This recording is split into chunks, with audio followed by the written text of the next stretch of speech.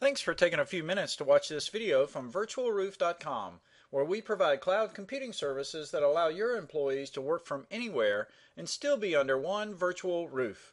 We do this by hosting over 300 software applications and their associated data. All of those applications and data can be accessed and used from any of the devices you see on this screen. If you'd like more information about us, you can go to our website, you could also do a search for virtualroof.com on YouTube. You can send us an email at info at virtualroof.com or you can call us at 866 932 2281.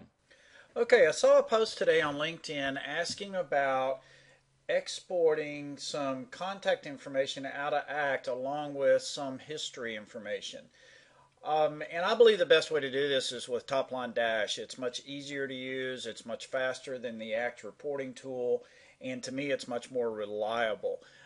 And so what I thought I would do is I, I, did respond to with a post, but I thought I would also include this link to a YouTube video so that folks can see how easy it is and how well it works.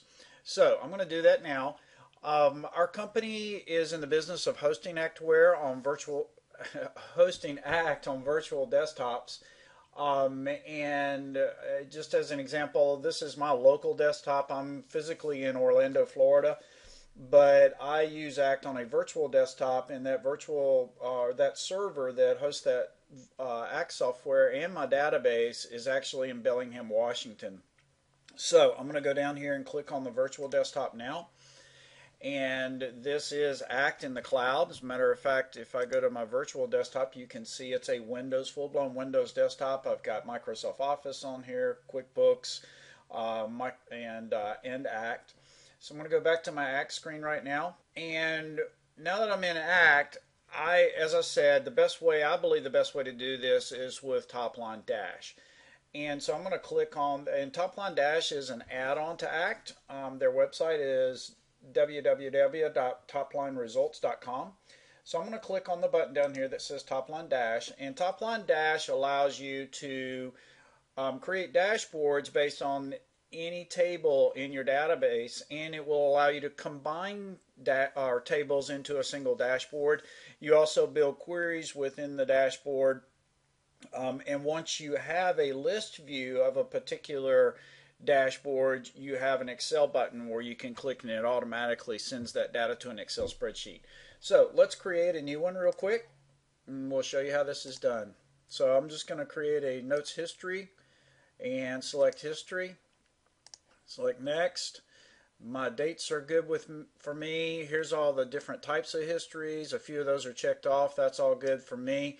Um, and by the way, you can even come down below and enter some information that it will search for in the regarding field. So you can filter it and, and separate the items um, or have separate things that you want so that the regarding field is also a filter for this. So I'm just going to leave that blank. Click OK show list and I'm going to go to the um, and you can see I've got four tables here to choose from. So history company group and contact Right now it's going to show me the date of the history entry, the result of the history entry, the regarding, the record manager. Those are all history and it's going to show the contact's name. Now if I go over to the contact field, I've got every field, I'm sorry, to the contact table, I've got every field in that table available to me. So if I want to add their telephone number, um, I can do that. If I wanted to add the uh, company name, I can do that. So just scroll down to the company. One more back up. I'm having a hard time getting the company. There's company and so on and so forth. I don't want to show this because this is my real database. I don't want to show that. I want to keep that information private, so I'm going to actually pull that back off of there. I just wanted to show that you are able to, to pull that information.